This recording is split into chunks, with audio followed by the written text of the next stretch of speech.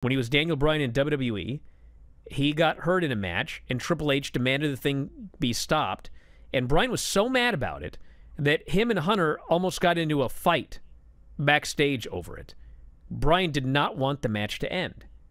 So the thing is, well, where are we now?